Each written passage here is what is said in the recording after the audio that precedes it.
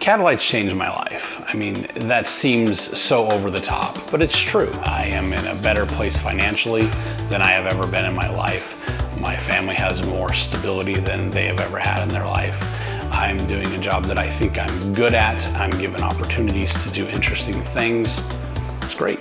So originally I went to college with the intent of doing software development. That was my plan. From there, I went into construction for 20 years, which uh, doesn't make sense, but that's what I did. So I didn't have a resume to, to get into the software development industry. Didn't have this neat thing I could show people, hey, I can do this.